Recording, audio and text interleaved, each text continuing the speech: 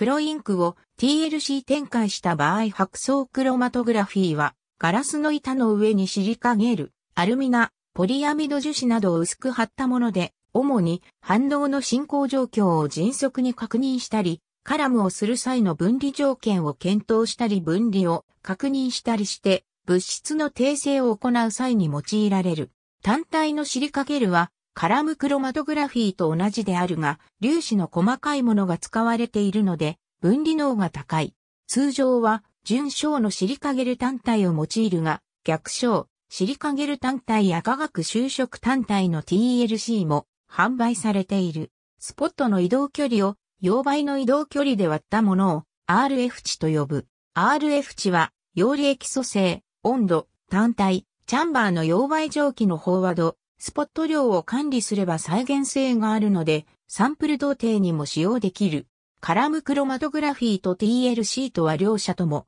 RF 値の順番で化合物が流出することがほとんどであるが、稀にカラムと TLC とで陽理順が一致しないことがあるので注意が必要である。また、シリカゲルが厚く貼られたものを用いて、少量の混合物の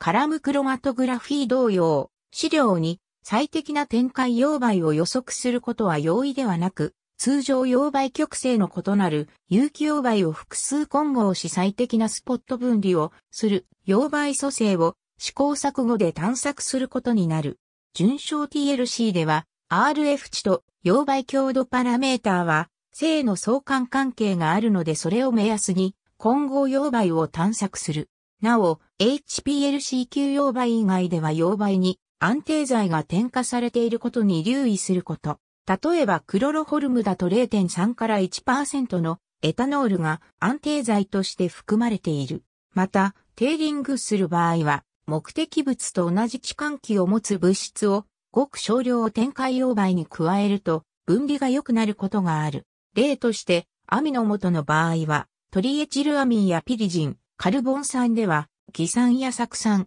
ヒドロキシモトなら、メタノールなど、二次元展開 TLC 二次元展開、または二次元白層クロマトグラフィーは二度展開することにより複雑な混合資料を高度に分離する技法である。初回の展開は、方形の TLC 板の角に直行する両辺から、溶媒に浸すマージンを適宜開けた隅を原点とし資料を置く。対別すると、スポットの分離を改善するために、単一の固定章で初回と次回の展開溶媒を変えて二次元展開する方法と、ストライプ上に2種類の固定章を持つ TLC 板を用いて、それぞれの固定章で二次元展開する方法がある。展開溶媒を変える方法では、最初の展開は原点が下になるようにして、通常の展開を行う。その結果、TLC 板の肩に一直線上にスポットが展開する。TLC 板を十分に乾燥させて、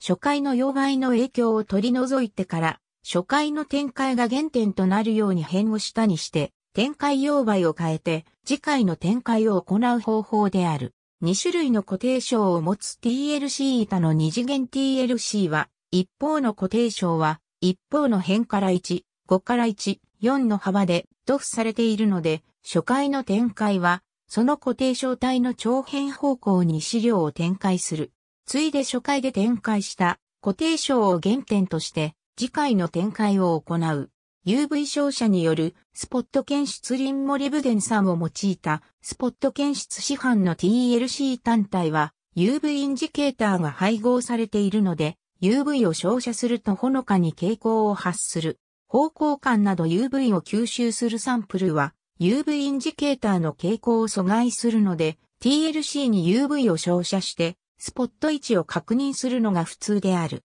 UV を吸収しないスポットの検出方法として等がある。その他の TLC 定食指示薬については、指示薬の一覧 TLC 定食指示薬を参照。岩波生物学辞典第4版より、ありがとうございます。